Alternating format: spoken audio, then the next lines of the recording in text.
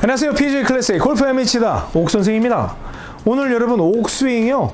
small 스윙 배워보겠습니다. small 스윙 200m 누구나 칠 수 있는 거죠? 손목만 까딱 해도 그냥 딱 200m 가는 거죠? 남자분들 기준으로. 여성분들 손목만 까딱 하면 150m 가는 거예요. 지금 바로 시작하겠습니다. 절대 스윙 이병옥 골프학교 네. 옥 스윙은요. 풀 스윙이 뭐라고 그랬죠? 풀스윙, 옥스윙의 풀스윙은 오른 손목을 딱 젖힌, 젖힌 다음에 배에 딱 팔꿈치가 그냥 얹어지는 이 상황이 풀스윙이라고 그랬어요. 이때 똑바로 서 있을 때는 클럽 face가 그렇게 뒤집어지면 안 됩니다. 딱 서 있는 정도의 손목 느낌을 외우셔야 돼요. 그냥 이게 편하다고 뒤집으면 이거는 conventional 스윙하고 지금 섞여 있는 거예요. 딱 있으면 이렇게 오른손목만 젖히면 팔꿈치 갖다 붙고 클럽 face 서 있는 이 느낌이 걸려야 된다는 거. 이게 굉장히 중요하죠. 이게 옥스윙의 풀스윙입니다. 뚝. 풀스윙? 제 영상 안 본 분들은 그걸 뚝 할 수 있죠. 근데 제가 예전에 옥스윙에 있어서의 풀스윙 개념은 이 젖혀로 끝난다. 그러면 여기에서 small 스윙은 왼 어깨가 반보다 덜 들어간 경우에는 small 스윙. 그 다음에 왼 어깨가 반만큼 들어가면 middle 스윙. 그다음 반보다 더 들어가면 big 스윙이다라고 제가 설명을 드린 적이 있습니다. 오늘 제가 드릴 내용은 small 스윙입니다. small 스윙은요 어떤 느낌의 스윙이 되냐면요 젖혀 때려입니다. 젖혀 때려 그러면 젖혀가 젖혀 때려죠. 그러면 middle 스윙은요 젖혀 때려 젖혀 때려 big 스윙은요 젖혀 때려예요. 그런데 이 small 스윙하고 middle 스윙하고 big 스윙에 대한 인식이 왜 중요하냐면요. 여러분들이 정말 하수들하고 칠 땐 자신감이 충만해지죠. 그러니까 막 쫙 가가지고 저쳐 이렇게 할 수 있는데 막 너무 잘 치는 사람 또는 모시고 치기 어려운 그런 분들하고 라운드를 하게 되면 덜덜덜 떨리죠. 또 겨울에 옷을 막 이만큼 껴입으면 나는 이렇게 해가지고 턱이 완전히 코를 가려 이 코를 가려야지 그냥 완전히 나는 풀, 풀스윙인데 옷이 두꺼우니까 딱 요거밖에 못 가. 어, 저는 스윙을 안 하는 것 같아서 못 치겠어요.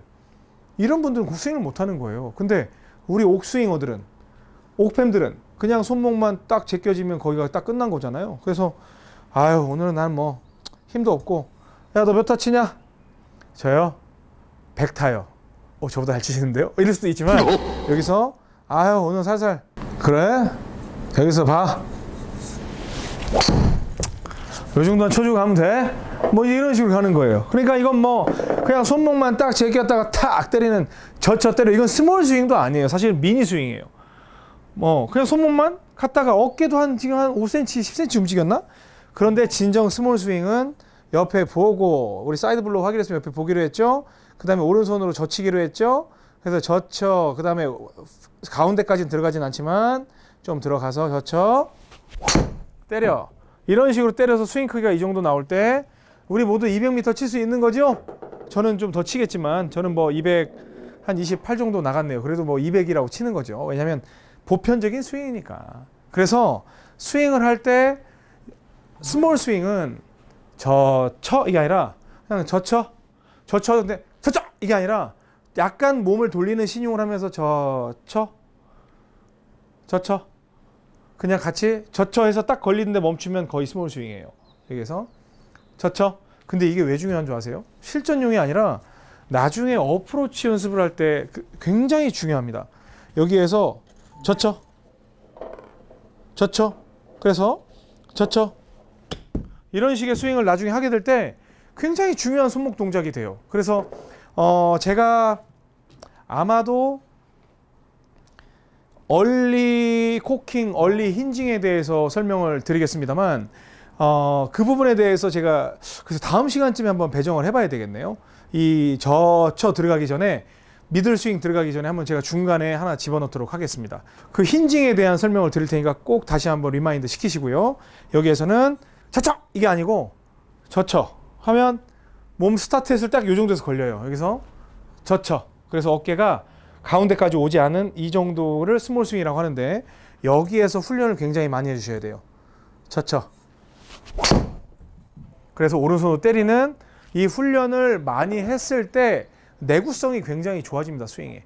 그래서 저쳐 그게 아니라 저쳐 저쳐 저쳐 때려 때렸으면 시크하죠?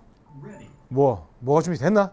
자 쳐봐 저쳐 때려 이런 식으로 해서 그 순간 동작이 굉장히 세질 필요가 있다. 그러면 이거는 어떤 개념이냐면 얼리 힌징의 개념이에요. 제가 다음 시간에 굉장히 가볍게 터치업 해드리고 그 다음에 미들 스윙으로 넘어갈 수 있도록 하겠습니다. 어렵지 않죠? 여기서 탁 이게 젖혀지는 게 제일 중요해요. 그리고 젖힐 때도 다 젖히고 있대, 다 젖히고 있대. 근데 얘가 완전히 아 아 할 정도로 젖혀야 돼요. 그게 풀스윙이에요. 하셨죠? 명심하십시오. 오늘 레슨 내용이 도움이 됐다고 생각하시면 좋아요, 구독, 알람 설정 눌러주시고요. 그리고 뭐 주변 분들께 많이 소개해 주시기 바랍니다. 그리고 여러분들의 경험담도 좀 남겨주시고 그리고 광고 끝까지 봐주시는 그런 정성 보여주시면 더 감사하겠습니다.